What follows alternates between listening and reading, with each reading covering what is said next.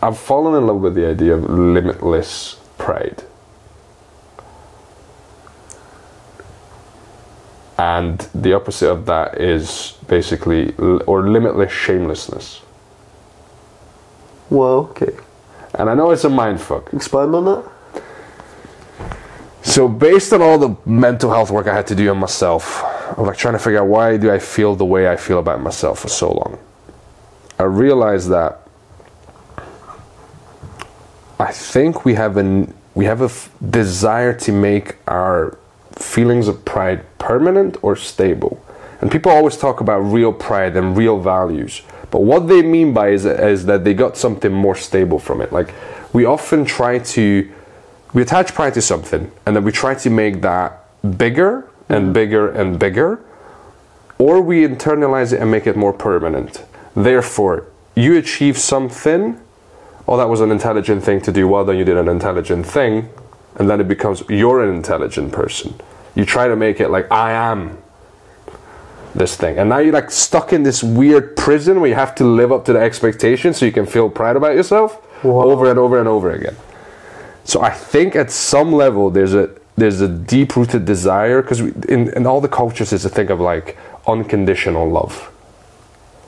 And I, I do think it's actually unconditional pride. That is that is a really good thought playground actually. It might be bullshit. And obviously the other side of unconditional pride is unconditional shamelessness.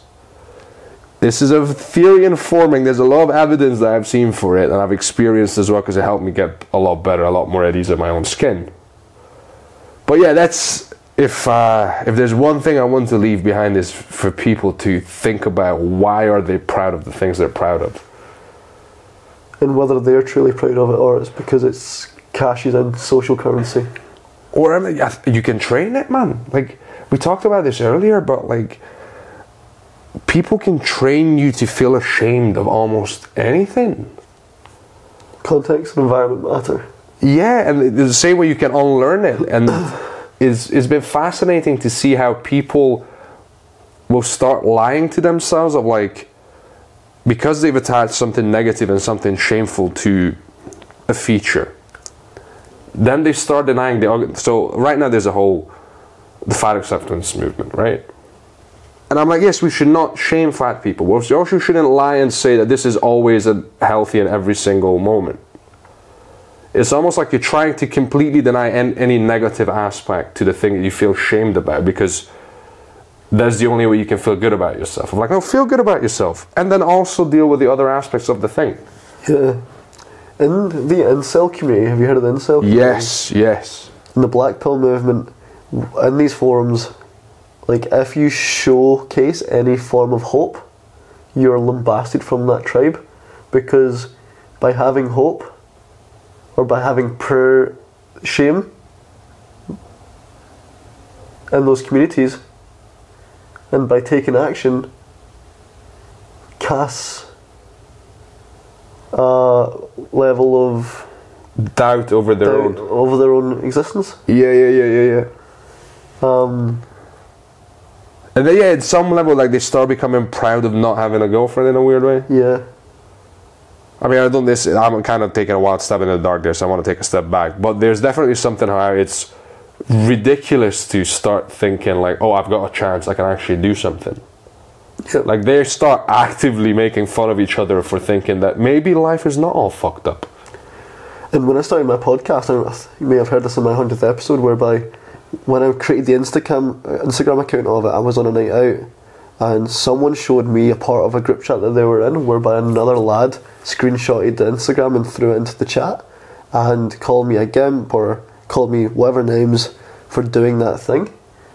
And what I now realise, and what I probably realised then, is that how inst- how insecure must they be for lambasting me for fulfilling my purpose and helping others.